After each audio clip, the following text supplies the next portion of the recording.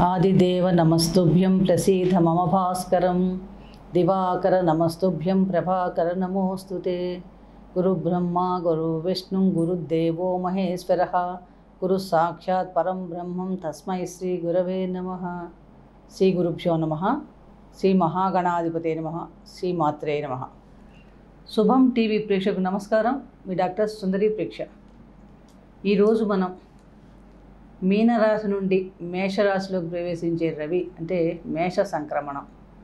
ఎటువంటి ఫలితాలు ఇస్తున్నాడు? మేషరాశిలో ఉన్న గ్రహాలైన రాహు బుధుడితోనూ ఇరవై రెండు నుంచి గురువుతో కలిసి ఈ నెలంతా కూడా పద్నాలుగు నాలుగు రెండు వేల ఇరవై మూడు నుండి పదిహేను ఐదు రెండు వేల ఇరవై మూడు దాకా రవి ద్వాదశ రాశి వారికి ఎటువంటి ఫలితాలు ఇస్తాడు? అసలు సంక్రమణం అంటేనే మనకి రవి ప్రతి నెల కూడా ఒక రాశి నుంచి ఇంకొక రాశికి మారుతూ ఉంటాడు. అంటే ఒక రాశిలో రవి యొక్క సంచారం ముప్పై రోజులు ఉంటూ ఉంటుంది. అంటే ఈ ముప్పై రోజుల సమయంలో కూడా ఆయన వివిధ రాశుల మీద తన ప్రభావాన్ని కూడా చూపిస్తాడు. ఎందుకంటే గ్రహరాజు రవి ఆత్మకారక గ్రహం అని కూడా చెప్పుకోవచ్చు. ఎప్పుడైతే రవి మేషరాశిలో ప్రవేశిస్తాడో ఆ రోజు నుంచి సౌరమానం ప్రకారం కూడా సంవత్సరాది తమిళ సంవత్సరాది కూడా స్టార్ట్ అవుతుంది. రవి భగవాన్ సహజంగానే పితృకారకుడు పుత్రకారకుడు ఆత్మ అహంకారం పదవి అధికారం హోదా వీటన్నిటి కూడా కారకత్వం వహిస్తాడు. ఈసారి ప్రత్యేకత ఏంటంటే రవి సంచారం మేషరాశిలో జరిగే సమయానికి రాహు కూడా అక్కడే సంచారం చేస్తున్నాడు. బుధ సంచారం కూడా అక్కడే ఉంది. ఈ నెల ఇరవై రెండో తారీఖు నుంచి గురువు కూడా మేషరాశిలోకి సంచారం చేస్తున్నాడు మేనరాశి నుండి. అంటే నాలుగు గ్రహాలు ఆల్మోస్ట్ మనకి మేషరాశిలో సంచారం చేయబోతున్నాయి. రాహు అంటేనే మనందరికీ తెలుసు ఒక లిటిగేషన్ ఒక ఛాయాగ్రహం. రవి రాహుల సంయోగం కూడా మనకి సహజంగానే గ్రహణ యోగంగా కూడా చెప్తూ ఉంటాం. అంటే ఇలాంటి గ్రహయోగ సంబంధం ఇరవై ఒకటో తారీఖు నుంచి బుధుడు వక్రీ వక్రీకరిస్తున్నాడు. ఇదంటే ఇలాంటి గ్రహస్థితి ఉన్నప్పుడు మనకి ద్వాదశ రాశి వారికి ఎలా ఉండబోతుంది? ఈ సంక్రమణ సమయం అంటే ఈ మేష సంక్రమణం అంటే సంక్రమణం అంటే రవి ఒక రాశి నుండి ఇంకొక రాశికి మారటాన్ని మనం సంక్రమణం అంటాం. ఇప్పుడు మేషరాశిలో ప్రవేశిస్తున్నది మేష సంక్రమణం అని కూడా అంటాం. ఈ సంక్రమణం ఎప్పుడు జరుగుతోంది అని చూస్తే కనుక పద్నాలుగో తారీఖు మధ్యాహ్నం నుంచి రవి మేషరాశిలో ప్రవేశిస్తున్నాడు. ఈ సమయానికి ముందు పదహారు గడియల ముందు మనం పుణ్యకాలంగా చెప్పడం జరుగుతుంది. ఆ సమయంలో చేసే స్థాన దాన జపాలు హోమాలు అన్నిటి కూడా చాలా విశిష్టమైన ఫలితం ఉందని కూడా చెప్పవచ్చు. దీని ప్రకారంగా మనకి చూస్తే కనుక ఈ మేషరాశిలో సంక్రమణం జరిగే సమయంలో చాలా వాతావరణ మార్పులు రావటం కానీ రాజకీయ పరంగా కూడా చాలా మార్పులు వచ్చే అవకాశాలు ఎక్కువగా మనకు కనిపిస్తున్నాయి సహజంగా ఈ సమయంలో ఎలా ఉంటుందంటే ధాన్యాల ధరలు పెరగటం ఉరుములతో మెరుపుతో వర్షాలు పడటం అలాంటివన్నీ కూడా మనకి ఈ నెలలో ఎక్కువగా కనిపిస్తున్నాయి. ముఖ్యంగా విపరీతమైన వేడి గాలులు ఉష్ణోగ్రత పెరగడం ఎందుకంటే రవి అగ్నితత్వ గ్రహం బుధుడితో కలిసి ఉన్నాడు కాబట్టి విపరీతమైన వేడి గాలులు ఉండే అవకాశం కూడా ఎక్కువగా ఉంది.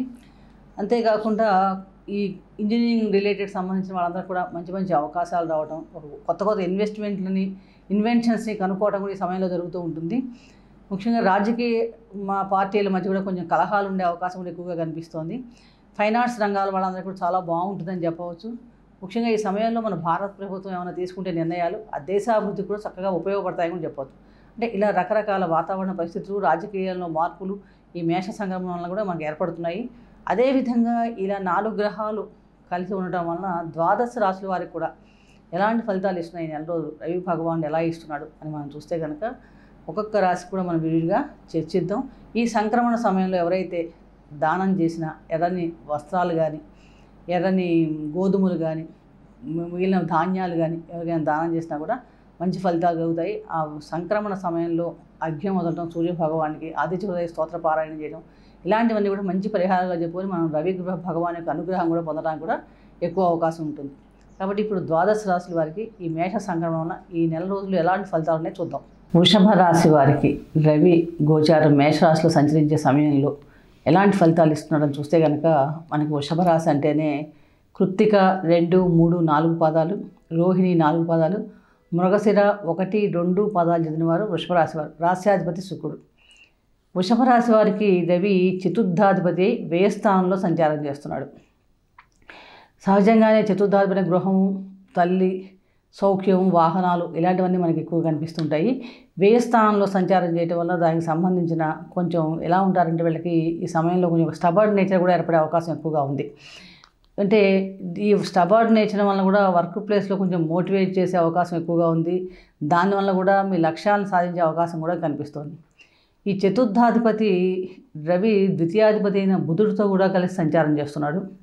అదేవిధంగా రాహు సంచారం కూడా అక్కడే ఉంది. లాభాధిపతి గురువు కూడా ఇరవై రెండు నుంచి కూడా రాశిలో సంచారం చేస్తుంటాడు మ్యాచ్ రాశిలో. అంటే ఇలా నాలుగు గ్రహాలు కలయటం వల్ల ఈ సమయంలో మీకు ఎలా ఉంటుందంటే ఒక రకంగా ఒక ఒక రకమైన మొండితనంతో ఒక విలాసవంతమైన వస్తువులు కొనుక్కోవాలి. అంటే మీరేం కొనుక్కోవాలనుకుంటే అదే కొనుక్కోవాలి ఏది డిసైడ్ చేస్తే అన్న టైప్లో ఒక మొండి వైఖరితో ఆ వస్తువులు కొనటం ఖర్చు పెట్టడం అధికంగా ఖర్చు చేయడం కూడా మనకు ఎక్కువగా కనిపిస్తోంది. దానివల్ల ఫ్యూచర్లో మీ ఆర్థిక పరిస్థితి కొంచెం ఇబ్బంది పడే అవకాశం ఎక్కువగా ఉంది. ముఖ్యంగా ఈ సమయంలో కూడా ఈ వృషభరాశి వారు ఎలా ఉంటే స్త్రీ పురుషులు చక్కగా ఆనందంగా వినోదాలతో విందులతో గడిపే అవకాశం ఎక్కువ కనిపిస్తోంది. ఆర్థిక పరంగా కూడా చాలా ఖర్చులు అంటే అనవసరం కొంచెం వృధా ఖర్చులు అనే చెప్పవచ్చు. ఒక బ్రాండెడ్ ఐటమ్స్ రవి అంటేనే మనకి బ్రాండ్ ఐటమ్స్ బ్రాండెడ్ ఐటమ్స్ కొనాలని పర్టికులర్గా ఎంత సం ఎంతైనా సరే అది కొనాలి అనే ఒక రకమైన మొండి పట్టుదలతో ఇలాంటి వస్తువులు కొనడం ఈ సమయంలో మీ ఆర్థిక పరిస్థితి చాలా ఇబ్బంది పడే అవకాశం ఎక్కువగా కనిపిస్తోంది. ముఖ్యంగా మీ జీవిత భాగస్వామి కోసం కానీ కుటుంబ సభ్యుల కోసం కానీ ఇలాంటి ఖర్చులు చాలా ఎక్కువగా పెడుతూ ఉంటారు ఈ సమయంలో. కాబట్టి ఈ విషయంలో మటుకు మీరు మొదటి నుంచి కూడా కొంచెం నియంత్రణ చేసుకోకపోతే కనుక చాలా మటుకు ఫ్యూచర్లో మనం రుణాలు చేసే పరిస్థితి కూడా ఏర్పడే అవకాశం ఎక్కువగా ఉంటుంది. ఈ రాశివారు మనకి వృత్తి ఉద్యోగాల్లో మటుకు చాలా శ్రమ అధికంగా చేస్తే తప్ప విజయ అవకాశాలు దొరకడం కష్టం. చాలా కష్టపడాలి. చాలా కష్టపడితే కానీ విజయ అవకాశాలు లభించే కష్టం కనిపిస్తోంది. కాబట్టి వృషభ ముఖ్యంగా ప్రతిరోజు వీలైనంత వరకు ఆ మొండి పట్టుదలని మన పన్నే మన మాటే నెగ్గాలి అని కానీ విలాసాల కోసం ముఖ్యంగా అంత ఖర్చు పెట్టడం. ఇవన్నీ కొంచెం తగ్గించుకుంటే కనుక ఈ సమయంలో మంచి విషయాలుగా చెప్పవచ్చు. ఎందుకంటే లాభాధిపతి గురువు కూడా రాశిలో రాహుతో కలిసి సంచలనం గురుచండాల యోగం కూడా ఏర్పడుతుంది మధ్యలో. దానివల్ల ఏమిటంటే విదేశాలకి వెళ్ళాలని దానికోసం ఖర్చు పెట్టడం దానివల్ల లిటిగేషన్ సమస్యలు ఏర్పడటం అవి కూడా ఎక్కువ కనిపిస్తున్నాయి. ఒకవేళ విదేశాలకు ప్రయత్నం చేస్తే కనుక చాలా మటుకు ఒక్కొక్కసారి మంచి ఫలితాలు కూడా అవకాశం ఉంది. కానీ దానికోసం కూడా మీరు ఎక్కువ డబ్బు ఖర్చు పెట్టాల్సి వచ్చిన అవసరం ఉంటుంది అన్నమాట చదువుల కోసం కానీ మెడికల్ ఎక్స్పెన్సెస్ కానీ దీనికోసం కూడా ఎక్కువ ఖర్చు పెట్టే అవకాశం ఎక్కువగా ఉంది ఈ సమయంలో. కాబట్టి ముఖ్యంగా ఏంటంటే అన్ని రకాల ఖర్చుల్ని మనం వీలైనంత వరకు అవసరమైన వాటికే మనం పెట్టుకోగలిగితే చాలా మటుకు ఆర్థిక సంక్షోభాలు బారి పడకుండా చాలా ప్రశాంతంగా ఉంటుంది. మరిన్ని అనుకూలమైన ఫలితాలు కావాలంటే వృషభరాశి వారు ప్రతిరోజు కూడా ఒక రాగి చెంబు నిర్ణయం తీసుకొని సూర్య భగవానికి అర్ఘ్యం వదలటం వల్ల కూడా చాలా మంచి ఫలితాలు కలుగుతాయి. అలాగే ప్రతిరోజు కూడా వీలైనంత వరకు మీరు ఓం నమశివాయ అనే మంత్రాన్ని చక్కగా జపించడం ప్రాక్టీస్ చేయండి. దానివల్ల కూడా చాలా మటుకు మనకి మనసు ప్రశాంతంగా ఉండి పనులని దైవ బలం కూడా పెరిగి చాలా విషయాలు మనకి మంచి ఫలితాలు ఎటువంటి సందేహం లేదు. కాబట్టి ఈ పరిహారాలు చక్కగా మిషభరాశి వారు పాటించండి. అలాగే సంక్రమణ సమయంలో కూడా చక్కగా మీరు దానాలు చేయటం కానీ వీలైనంత వరకు పితృదేవతల కార్యాలు చేయడం ఇలాంటివన్నీ చేయడం వల్ల కూడా చాలా మటుకు మనకి వాళ్ళ అనుగ్రహం కూడా కలిగి చాలా మంచి ఫలితాలు కలుగుతాయి ఈ నెల రోజులు కూడా. సర్వే జన సుఖ్నోభవంతు శుభం భూయాత్.